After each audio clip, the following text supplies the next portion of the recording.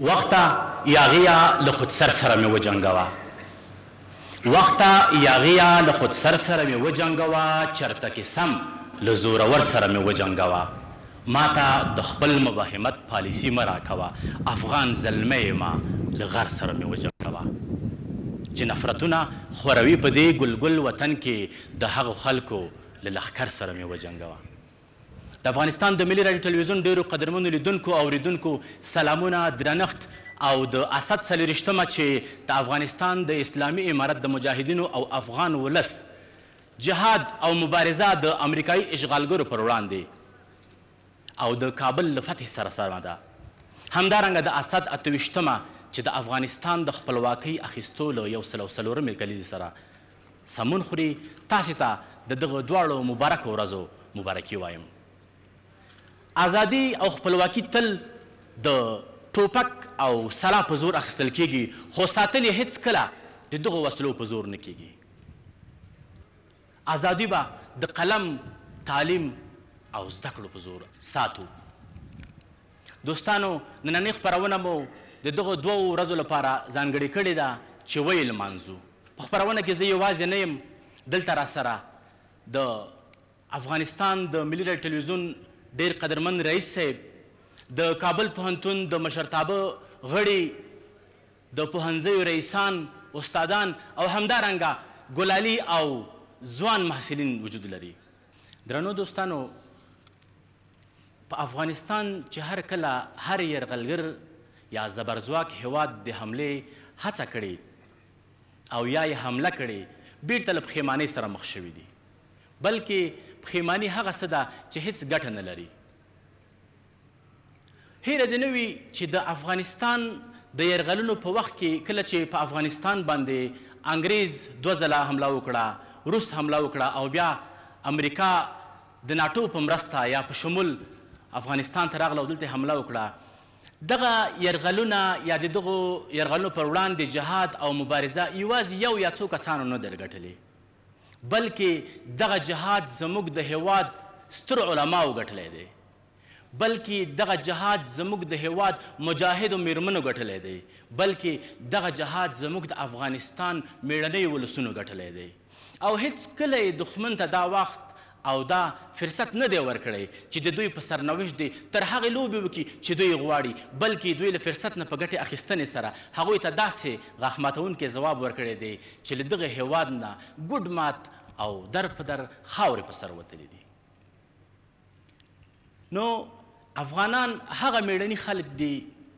هغه ځواک دی یعنی هغه بی وسلی ځواک دی چی د ایمان په زور یی هر یرغلګر ته ماتی ورکړی ده او تر اوسه پوری په پنځه زره کلن تاریخ کی په ځلاندو ټکو سره لیکل شوی دی کله چی تاسی هم تاریخ ولولی تاسی د افغانانو میړانه پکی لولی تاسو چې کله هم تاریخ ته سر ورنه ښکته کړئ یا نظر ورته ورواړوئ، تاسو به وګورئ هلته د افغان د مېړانې، شهامت او د هغه د زړورتوب خبرې کېږي. موږ هماغه افغانان یو، تاسې هماغه افغانان یئ او نن په ډېر ویاړ سره موږ افغانان د خپلو مجاهدو او اتلولیو دوه مبارکې ورځې لمانځو. قدرمنو لیدونکو دا چې راسره ستړي نه شئ زه ډېرې خبرې نه کوم واقعا دغه د جهاد ولولې دغه له هېواد سره له اسلام سره مینه د انسان په وجود کې یو ډول ځواک پیدا کوي نو زه د پروګرام په دې برخه کې د افغانستان د ملي ټلویزیون ډېر قدرمن لوی رئیس مولوي صاحب احمدالله وثیق ته بلنه ورکوم چې راشي او خپله وینا له موږ او تاسې سره شریکه کړي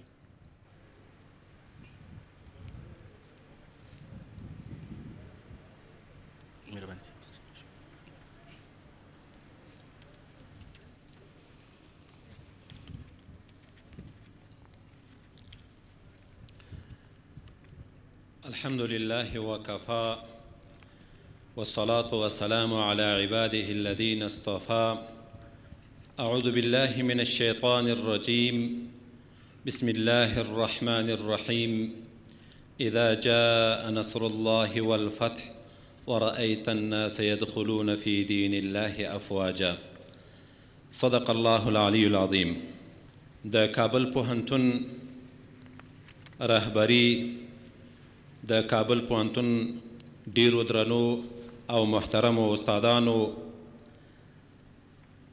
د کابل پوهنتون زړه ته راتیرو خوږو محصلینو او دلته په دې برنامه کې ناستو ټولو درنو حاضرینو ته السلام علیکم ورحمت الله وبرکاتو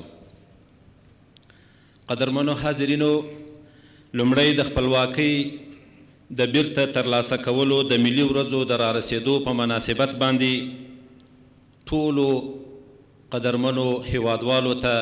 مبارکي وایم او بیا د هغو شهیدانو روحونو ته او ارواوو ته لاسونه لپه کوو چې د دغو مقدسو ورځو او د ازادۍ د ورځو د ترلاسه کولو او د خپلواکي د ترلاسه کولو دپاره خپلې ځوانۍ نذرانه کړې دي، قربانې ورکړې دي، هغو ټولو ته جنتونه غواړم. خوشحاله یم چې د افغانستان ملي راډیو تلویزیون د خپلواکۍ په تړاو د یوه علمي او ملي بحث کوربه دی. دلته به د کابل پوهنتون استادان ليکچر ورلري، محصلين به ښايي يو شمېر پوښتنې هم وکړي او د خپلواکۍ د بېرته ترلاسه کولو په تړاو به يوه هنري ننداره هم ووينو، خو تر دې وړاندې زه غواړم د ملي راډيو تلوېزون د دې بحث پر اهميت او د ازادۍ د بېرته ترلاسه کولو پر کوششونو باندې لنډې خبرې وکړم. دا یو واقعیت دی چې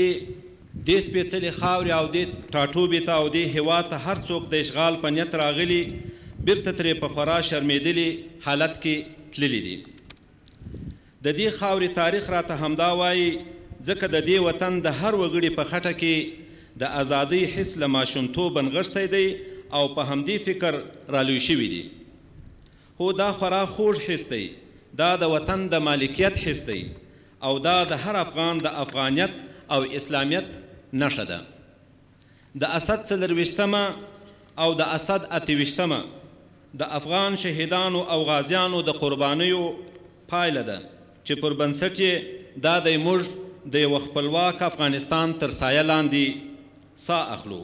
او د یوه خپلواک پر خپلو پښو ولاړ او باوقاره اسلامي نظام خاوندان یو. قدرمنو حاضرینو! زه په دې باوري یم چې هر چا په دې سپېڅلې لار کې هر څومره قرباني چې ورکړې وي، الله جل جلاله به یې بدله ورکوي او افغان تاریخ به یې مېړانه په حافظه کې خوندي ساتي. زه نه غواړم چې په دې وږغېږم چې د دې باتور ملت غازیانو، مجاهدینو، میندو او خویندو څومره سختۍ ګاللې او دغه ستر ویاړ یې ترلاسه کړی دی. خو دومره وایم چې دا هر څه نړیوالو ته د عبرت درس دی چې حتی افغان ماشومانو هم د اشغالګرو پر وړاندې خپله کرکه څرګنده کړې. او د دوی په زغروالو شوبلو یې د کاڼو بارانونه کړي دي. دا هغه څه دي چې بیا به هیڅ زبرځواک دې سپېڅلې خاورې ته په بد نظر باندې ونه ګوري او دې ته به زړه ښه نه کړي چې د باتورانو په دې ټاټوبي باندې بیا یرغل وکړي. همدا یې ارزښت دی او باید د دغه ارزښت د ساتلو لپاره کار وکړو. سره یو موټی شو او د خپلې خاورې ساتل خپل فرض عین وګڼو. دلته هیڅوک پر یو بل برتري نه لري، ټول افغانان سره وروڼه دي او که څوک یو بل ته په ټیټه سترګه ګوري او یا د کمترۍ احساس ورکوي، دا ستره ګناه ده او د اسلامي امارت د اصولو خلاف کار هم دی. له تقوا او علم پرته هیڅ افغان په بل افغان بالاتر نه دی، دا فکر باید رښتینی او عام شي. ډېرو درنو او قدرمنو حاضرینو د افغانستان ملي راډیو تلویزیون د خپلو آرو مسولیتونو له مخې دا خپله دنده ګڼي چې داسې علمي هر اړخیز بحثونه جوړ کړي چې په هغې کې د ازادۍ د ترلاسه کولو او د ساتلو په اړه د ځوانانو اذهان روښانه شي. موخه یوازې د ازادۍ د ورځې لمانځل نه دي بلکې دا هم ورسره په پام کې نیول دي چې د ټولنې وګړو ته فکر ورکړل شي د خپل تاریخ، ارزښتونو، مقدساتو او ویاړونو څخه خبر او ورته کار کول خپل لومړیتوب وګڼي. زما له ځوانانو هیله دا ده چې له دغه فرصته ګټه واخلي او په دغه علمي او ملي بحث کې ډیر څه ترلاسه او په خپل ژوند کې یې پلې کړي. د یادونې وړ یې بولم چې د کابل پوهنتون له رهبرۍ او استادانو څخه ځانګړې مننه وکړم چې د دې پروګرام په ترسره کولو کې یې زموږ غوښتنې ته لبیک ووایه او په دې بحث کې ګډون وکړي. د دوی له دې اخلاص څخه مننه کوم. د افغانستان ملي راډیو تلویزیون د نشراتي برخې ور آخوا د یوه علمي، فرهنګي او ادبي بنسټ حیثیت لري.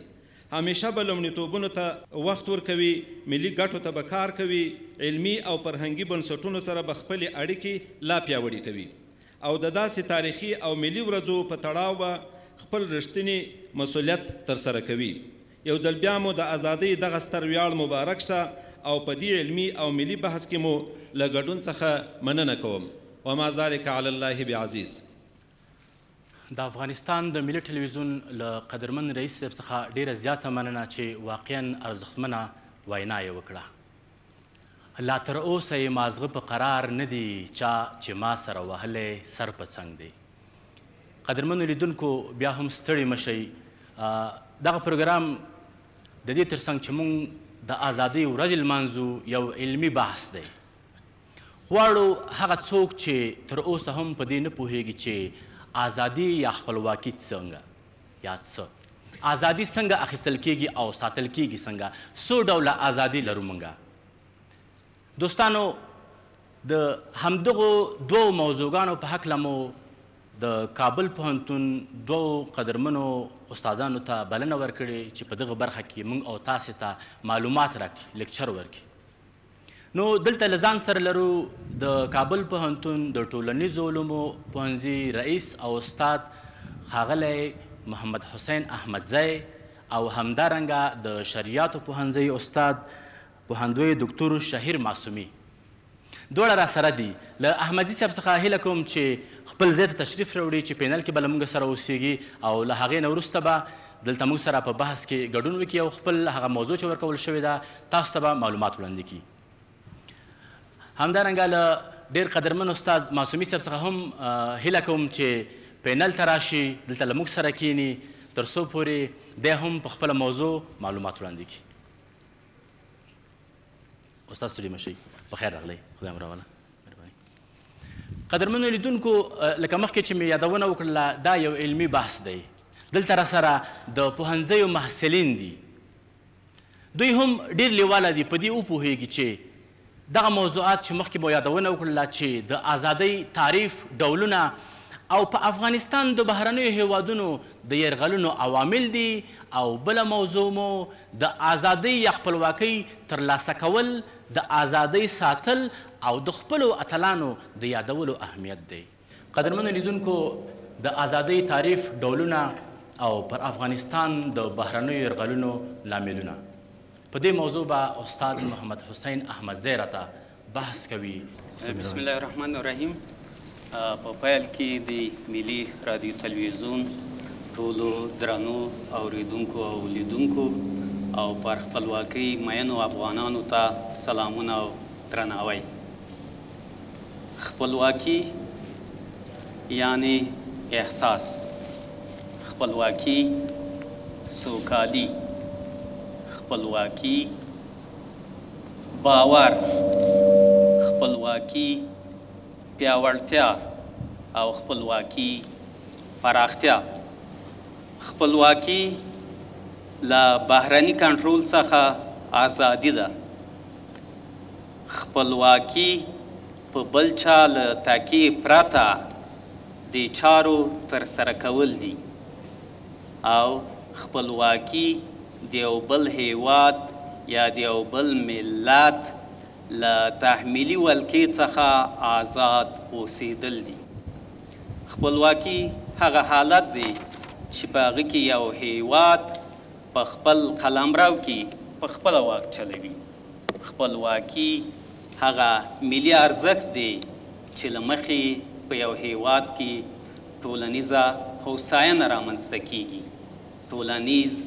عدالت ټینګېږي او د پرمختګ لپاره لاره هوارېږي. خپلواکي په دوه ډوله وېشلی شو، شخصي خپلواکي او ملي خپلواکي. شخصي خپلواکي بیا پر دوه ډوله وېشو. عاطفي خپلواکي او ذهني خپلواکي، په شخصي خپلواکي کې په فکر کولو او تصمیم نیولو کې په خپل قدرت باور درلودل دي. په شخصي خپلواکي کې د نورو تر اغیز او تاثیر پرته، په مؤثره توګه تصمیم نیونه ده. ملي خپلواکي بیا له ملي حاکمیت سره تړاو لري. ملي خپلواکي د هېوادونو د ملي حاکمیت د درلودلو حق ته وایي. ملي خپلواکي د یو هېواد په کورنیو او بهرنیو چارو کې د ملي حاکمیت انعکاس ته وايي. ملي خپلواکي مختلف ابعاد لري، یعنې له سیاسي خپلواکي سربېره ملتونه باید اقتصادي خپلواکي ولري. هغو ملتونو ته بشپړ خپلواک ملتونه ویلی شو چې هغه کلتوري خپلواکي ولري. همدا راز نظامي خپلواکي ولري، یعنې یوازې سیاسي خپلواکي د ملتونو بشپړه خپلواکي نه شي تضمینولای، نو په کار ده چې زموږ ملت په ټولو برخو کې خپلواکي ولري. پوښتنه دا ده چې خپلواکي او د خپلواکي لپاره مبارزې څه وخت رامنځته شوې؟ که د هېواد اوږد تاریخ په پام کې ونیسو، زموږ د تاریخ یوه ډېره مهمه برخه د ملي مبارزو برخه ده، یعنې د افغانستان تاریخ له ملي مبارزو سره مل ده، همدا یې تر ټولو غوښنه برخه جوړېږي. ملي مبارزې څه وخت رامنځ ته سوې او څه وخت پیل سوې؟ روښانه ده هر کله چي زموږ هیواد د بهرنیو تر یرغل لاندي راغلی، ملي او دیني ارزښتونو ته په پام سره د خپلواکۍ ملي روحې ته په پام سره زموږ مېړنیو افغانانو د خپلواکۍ د اخیستلو لپاره نه ستړې کېدونکې هلې ځلې او مبارزې کړې دي. دا چې دغه یرغلونه په کومه موخه ترسره کېدل بېلابېل لاملونه لري. د وخت د سترو قدرتونو د سیاسي ولکې یا د سیاسي نفوذ پراختیا یې تر ټولو یو ستر لامل و چې د تاریخ په اوږدو کې یې افغانستان تر یرغلونو لاندې راوستی دی. همدارنګه د هېواد طبیعي پراخو سرچینو ته لاسرسی په سیمه کې د نورو هېوادونو د سیاسي نفوذ کمول او مخنیوی د افغانانو د معنوي او مادي ځواک کمزوري کول او په دې هېواد کې د لاسپوڅو نظامونو واک ته رسول دا هغه بنسټیز لاملونه وو چې زموږ پر هېواد یې د تاریخ په بېلابېلو پړاوونو کې د زبرځواکونو یرغلونو ته لاره هواره کړه، خو له نېکه مرغه چې د دغو یرغلونو تر څنګ داسې ملي مبارزې وسوې چې افغانانو خپله خپلواکي بیا او بیا ترلاسه کړه.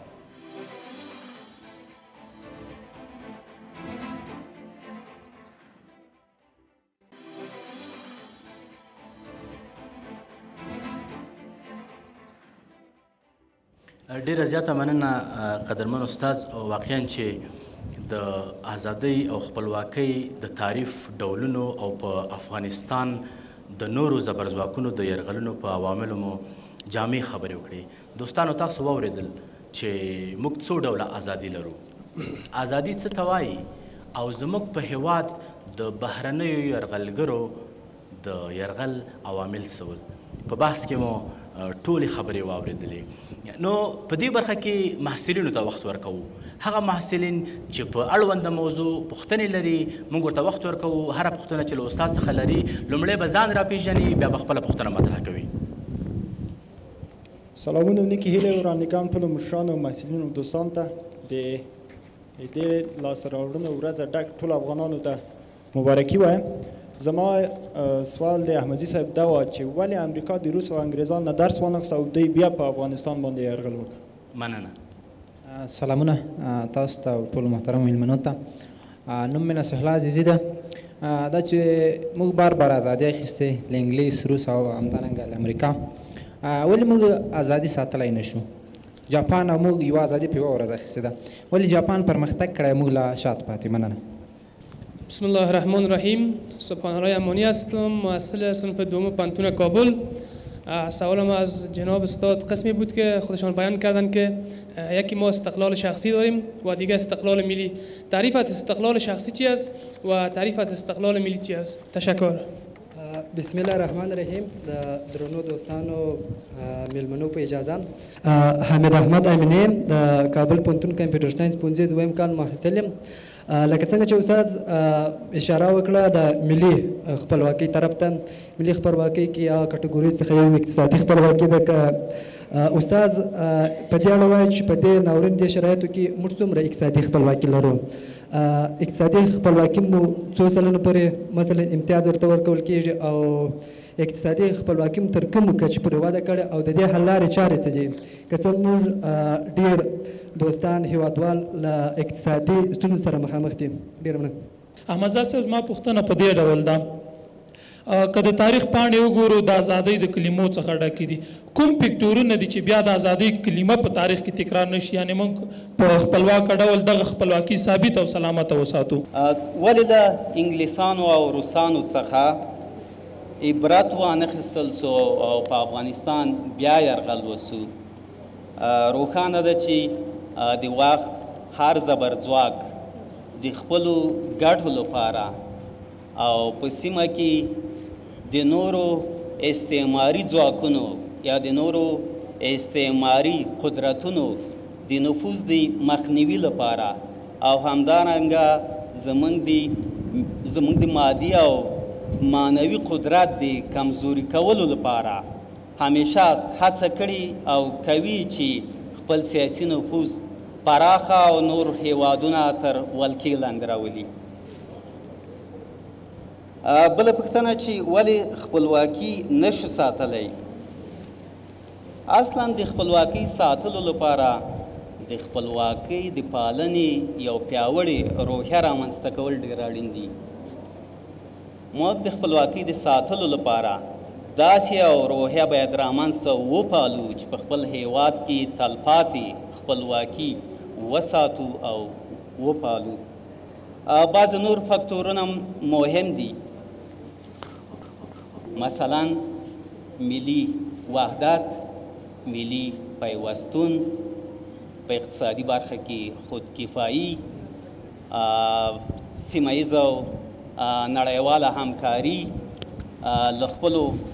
ارزښتونو سره سم د نړیوالو سازمانونو را جلبول د هیواد په داخلي او بهرنیو برخو کې د نورو له لاسوهنې او ولکې پرته د تصمیم نیولو پیاوړی قدرت درلودل، همدارنګه په علمي او فرهنګي ډګر کې پرمختګ دا هغه فکتورونه دي چې زموږ د خپلواکۍ پایښت تضمینولی شي. اقتصادي خپلواکي څومره لرو او څه باید وسي؟ یو ډیره مهمه پوښتنه ده. اصلا په اقتصادي خپلواکي کي پر ځان بسیاینه ډیره مهمه ده. خودکفایي ډیره مهمه ده. له نیکه مرغه چې اوس امنیت ټینګ سوی ده او د پانګونې لپاره لاره هواره شوې تر هرې کچې چې زموږ کورني تولیدات زیاتیږي او دلته پانګونه زیاتیږي په همغه اندازه موږ کولای شو چې خپله اقتصادي خپلواکي ټینګه کړو او وې ساتو د اقتصادي خپلواکۍ د پیاوړتیا لپاره بعضې نور فکتورونه هم مهم رول لري چې یو ته یې ما اشاره وکړه امنیت، ټیکاو، په علمي او فرهنګي برخه کې پرمختګ، همدارنګه د بشري سرچینو د ارتقاء ظرفیت د لوړولو په برخه کې مهم ګامونه دا هغه فکتورونه دي چې کېدای سي د هیواد اقتصادي خپلواکي لا ډېره پیاوړې کړي. خپلواکي څنګه ثابته وساتو؟ فکر کوم چی د دی پوښتنی ځواب وویل سو همغه عوامل چی یاد سول چی هغه ملی وحدت د ملی روحی پیاوړتیا د ملی او دینی ارزښتونو پالنه په علمی کلتوری او نورو برخو کی پرمختګ دا ټول هغه عوامل دي چې زمونږ د خپلواکۍ د پایښت تضمین کوي. ډېره زیاته مننه قدرمنو لیدونکو او درنو محصلینو، هیله ده چې تاسې خپل ځوابونه ترلاسه کړي اوسیږي. په دغو ځوابونو کې هم ډېر درس پروت و. د خپرونې په دې برخه کې به یوه په زړه پورې ترانه واورو. ځکه چې خسته نه شو نو راځئ چې زمونږ د درنو میلمنو نه هغه څوک چې نن موږ تاسو ته ترانه وایي ښاغلی حافظ ابراهیم همدرد صدیق جان عقلباز او مدني اشنا درې واړو ته بلنه ورکوم چې سټیج ته راشي او په خپلو طلایي حنجرو موږ ته یوه په زړه پورې ترانه ووایي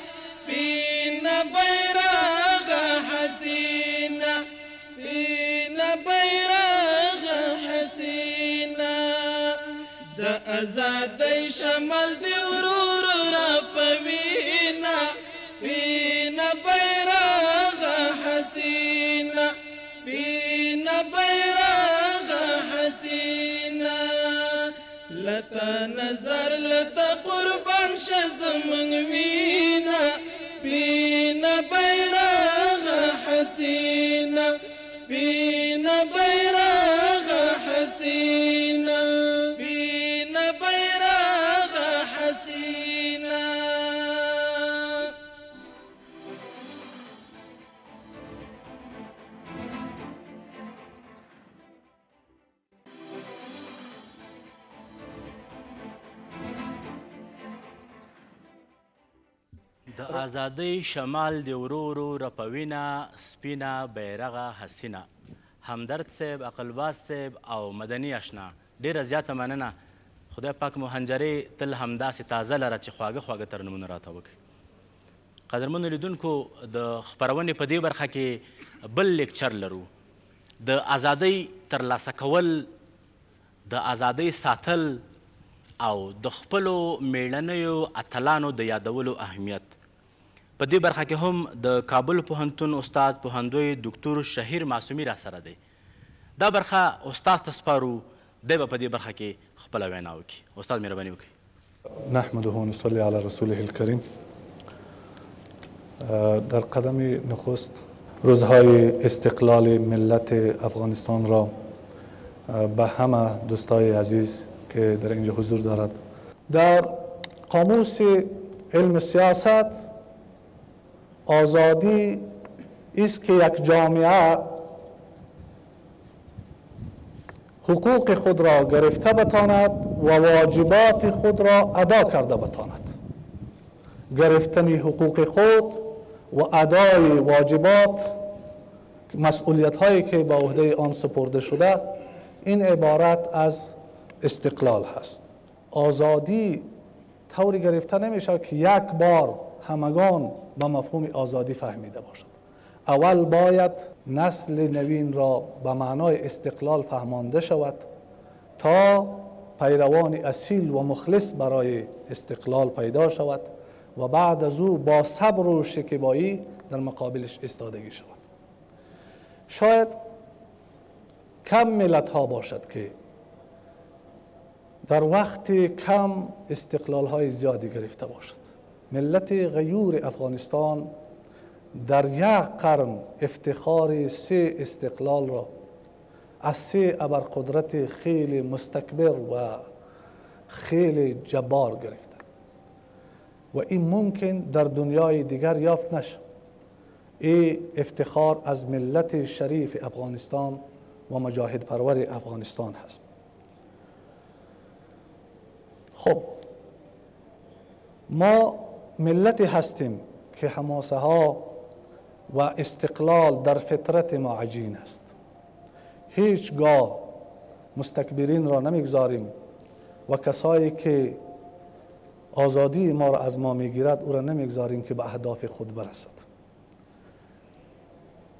حالی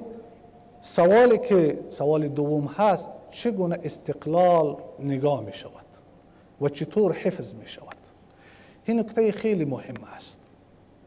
ما وقتی که به رهنمودهای قرآن مجید نگاه میکنیم استقلال هایی که گرفته شده به آن نگاه میکنیم اونا به کدام شیوه تانستند که مستقلال ها را حفظ کند اولین مهمترین کاری که در این بخش است استفاده از اسباب است وقتی که ذوالقرنین استقلال را از مفسدین فی الارض گرفت الله متعال میگوید و آتیناه من کل شیء سبب، از هر چیز برش سبب دادیم فتبع سببا و او پیروی سبب را کرد اسباب را به کار انداخت ما باید دست به کار شویم از اسباب استفاده کنیم در قرآن کریم به عنوان یک اصل از اصول حفظ استقلال اشاره شده تأمین عدالت است در یک جامعه تنها کسایی زندگی نمی کنند که اونا عملا در استقلال مبارزه کردند و مجاهدت کردند بلکه تمامی مردم جامعه شریک هستند و همونطور هم هست وقتی که پیامبر اکرم صلی الله علیه و سلم جامعه مستقل را جامعه مؤمن را گزاری کرد همه را شامل کرد که از خدمات آن استفاده بکند حتی کسایی که به دین اسلام هم مشرف نبودند در جامعه اسلامی حق زندگی را داشتند پس اولین کار چی دوم نکته ای که قرآن کریم به آن اشاره دارد عدالت است هر ملتی که عدالت کرده حقوق اقلیت ها را رعایت کرده حقوق جامعه خود را رعایت کرده و به همه حقوق توجه کردند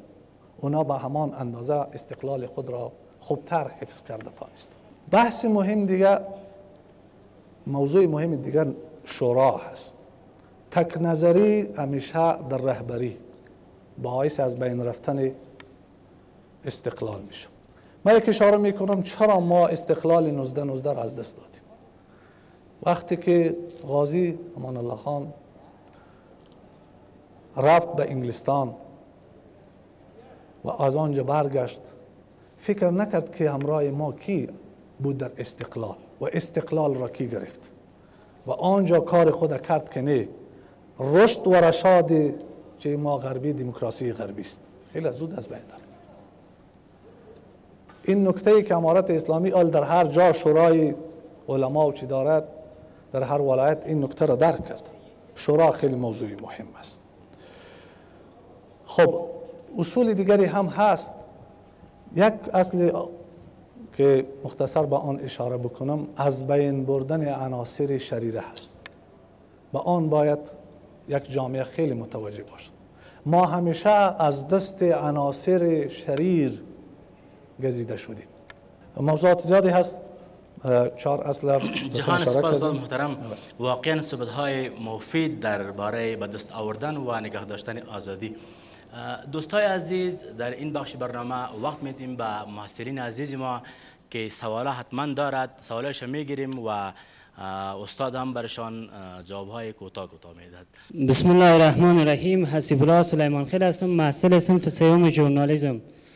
سوال من ای است از استاذ که چرا بارها کشور ما مورد اشغال قرار می گیره آیا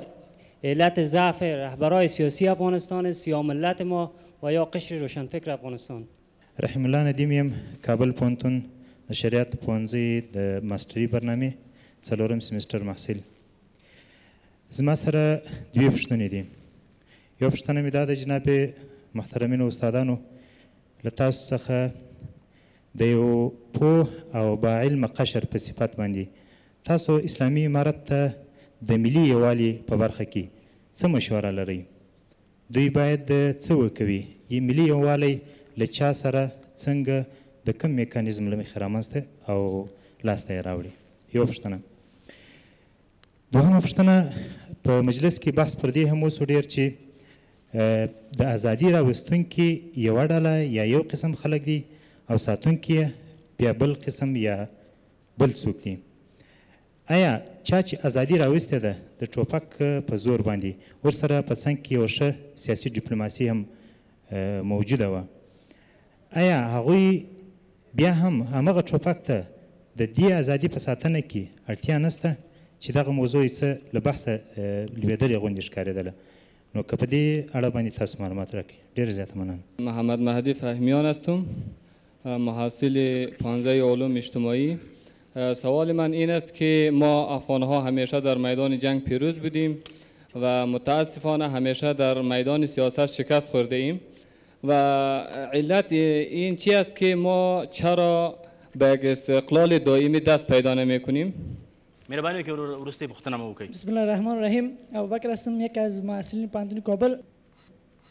استاد محترم بحث شما درباره استقلال آزادی است قسمی که شما گفتین در سال 1919 استقلال ما را به بار اول گرفتیم نی به بار دوم به 24 درصد گرفتیم و ما ایره مثلا خط دیورند که هنوز از قلب مردم پشتون میگذره ما قبول نداریم ما یا آزادی یا استقلال تکمیل شده یا خیر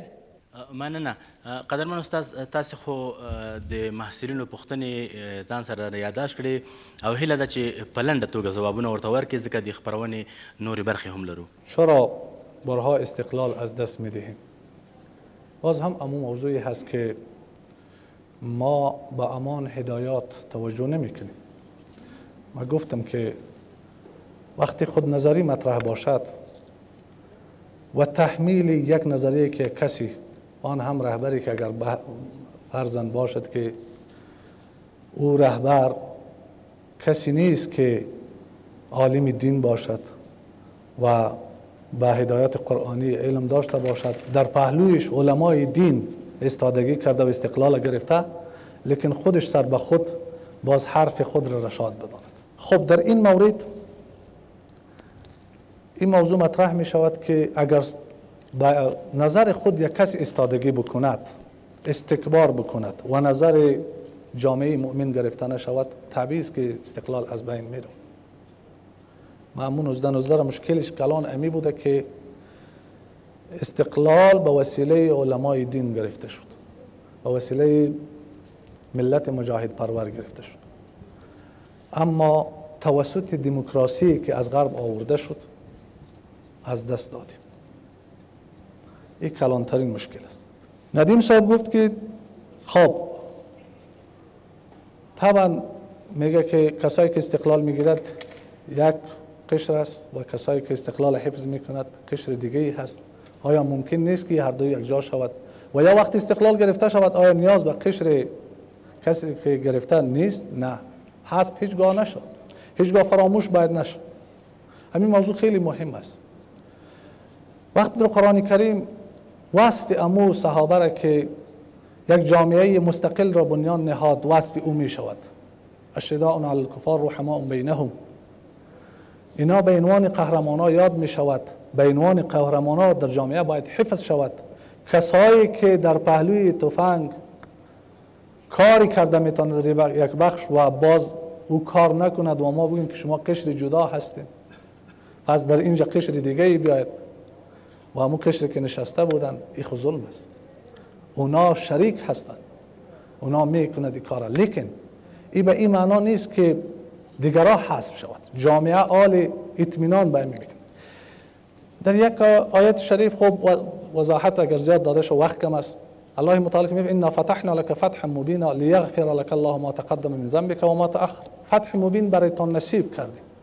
تا الله متعال برایتان آن گناه ها را ببخشد که پیش ازی بوده و بعد ازی پیامبر خو گناه نمی کند پیامبر خو اسمت دارد کدام گناه ها یعنی آن گناه هایی که قومت برات منصوب میکرد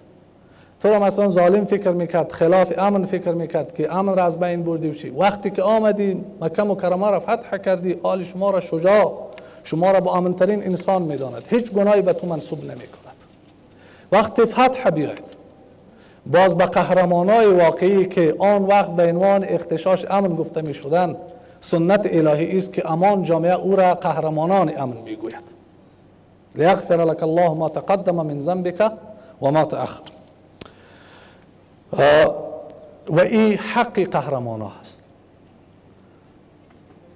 و باید ما ای را همیشه برای نسل نوین خود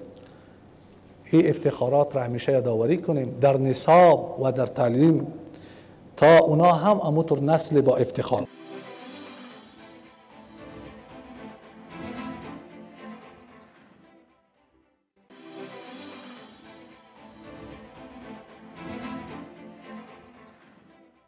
افتخار ډیر زیاته مننه استاد محترم فکر کوم چې دوستانو به خپل ځوابونه اخیستي اوسېږي قدرمنو لیدونکو د خپرونې وروستیو برخو ته رارسېږو د ازادۍ او خپلواکۍ خپرونه ده چې د کابل په پوهنتون کې مو تاسو ته جوړه کړې ده. قدرمنو لیدونکو د خپرونې په دې برخه کې یو تمثیلي پرچه لرو چې زموږ د هنر د برخې همکارانو ورباندې ډیر زیار ویستلی دی. راځئ دغه تمثیلي پرچه په ګډه سره وګورو بیا هم له موږ سره اوسئ.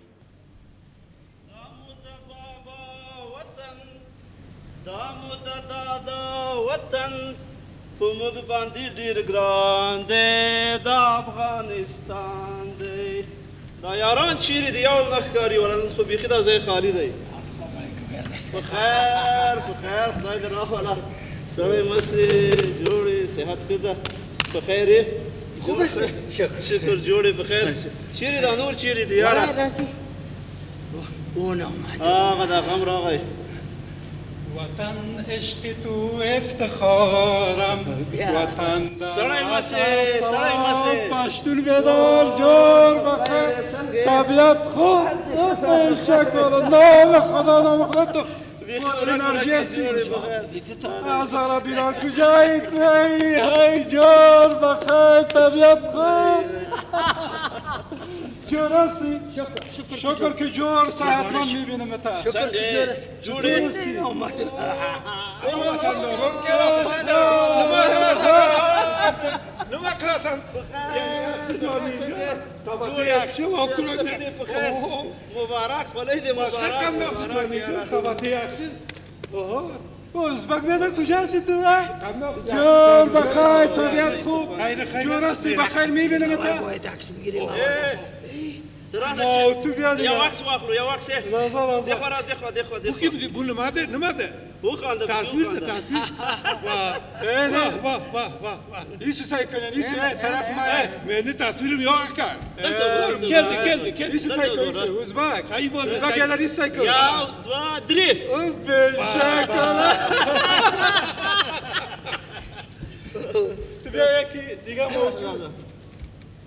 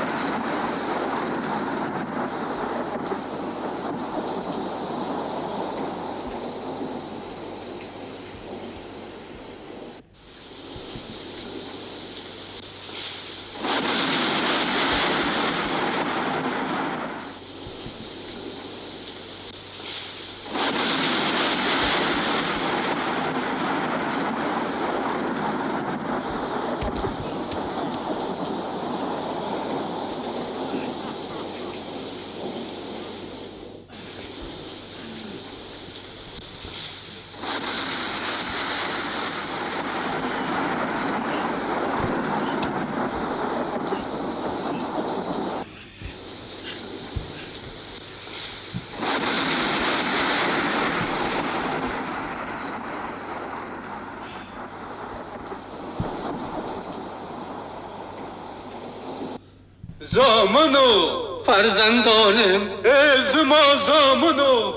بې اتفاقي مه کوئ، یو له بله مه بېلېږئ، د شیطان له چل ول نه ځان خبر کړئ، دا مو دښمن دی، غواړي چې تاسو له یو بل نه بېل شئ. دا هېواد تاسو ته په میراث پاتې دی، نو دا ستاسو ایماني او ملي دنده ده چې په یووالي سره د خپلې خاورې ساتنه وکړئ.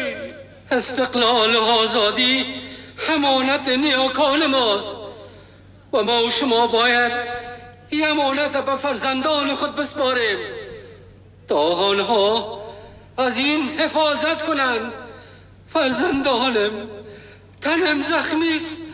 به مرهم نیاز دارم شما را به خاطر خدا کشمکش نکنید نگذارین که دشمنان قسم خورده ما مرا نقش زمین کنند